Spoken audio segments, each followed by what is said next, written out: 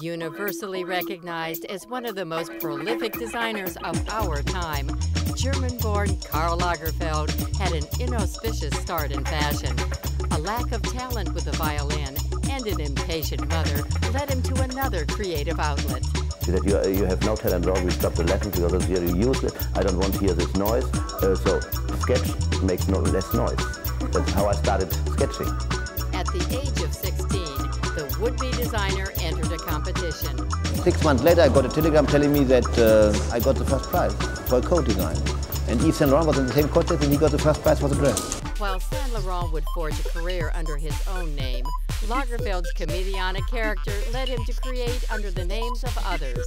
Now my parents are dead, but as long as they were alive, they never wanted their name on a shop or something like this, or they thought it was just dreadful.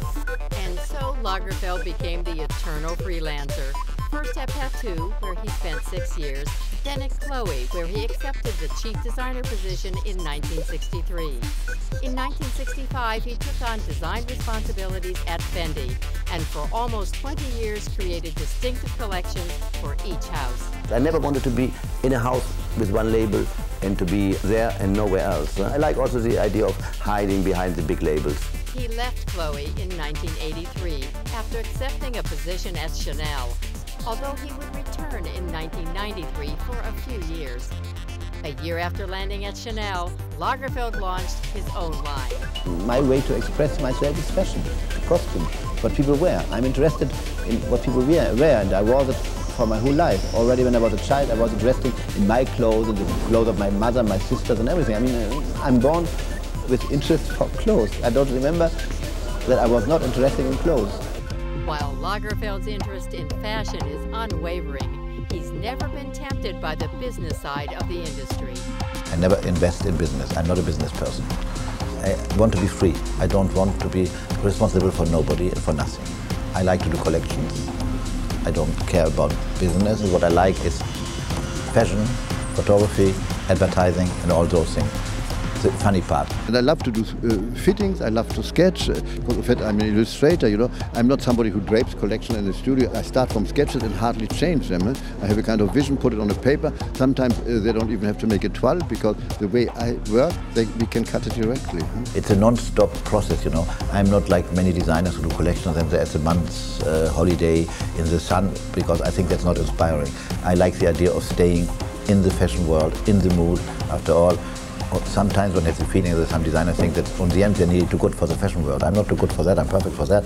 It, it, it suits me and I hope I will still suit the fashion world a few moments. It's not only hem, hem length, because fashion is not a thing of hemlength and, and, and dressy dresses or sport. It's the mood of the moment. There's fashion for food, for houses, for atmosphere. The whole thing goes together. So for me, I'm somebody who likes doing. Lagerfeld's own line has evolved into a sleek, monochromatic collection relying on cut over color. I reduced it and reduced it uh, to very little black and white with a few touches of pastel and uh, that I also, for the cuts and the line, I, it makes a better silhouette, I think. With Karl Lagerfeld's line, it's the one that most expresses his personality. It's in some ways the most idiosyncratic, it's the most eccentric, you know, it's the most personal. I mean, it's almost sometimes as though you're seeing Karl walk out on the catwalk in terms of like his fondness for the black and white and the uh, very, very slim line of the whole thing. If I, I would say something, or if I would be a woman, I would dress like that. Huh? Because uh, I'm not too crazy for print, I'm not too crazy for colors. Fendi is an Italian me, uh, Chanel is Chanel in a modern way, the way it should done. But Lagerfeld is in fact a kind of silhouette, very graphic and with not too much color, but I think it's very chic on a woman. With his powdered white hair and dark glasses, Karl's looks took center stage. And when he lost 90 pounds in 2002, the fashion world wanted to know his secret. By eating what is good for me, but it's not frustrating. What I am allowed to eat, I can eat as much as I want. So there's never any frustration. I don't eat butter, I don't eat cake, I don't eat sugar, I drink uh, Pepsi Max, that's all. In 2004, Lagerfeld tackled the challenge of designing a collection for chain store H&M. And I must say, when I did H&M, it was very interesting experience for me. I can do the most expensive, like the haute couture, but I also can do the less expensive, and I feel totally at ease in both uh, categories. It's Karl's sheer productivity that amazes most people.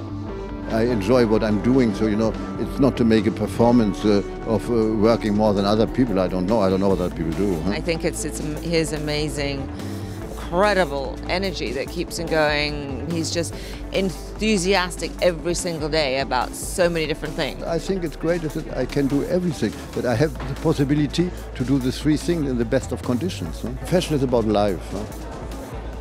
And I, not that I don't care, but I'm open to life.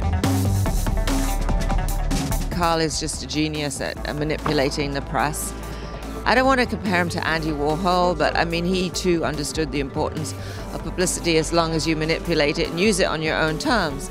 And I think that Karl has understood that in a way that's completely exceptional. I think he is certainly the most recognized and the most powerful designer working in fashion today.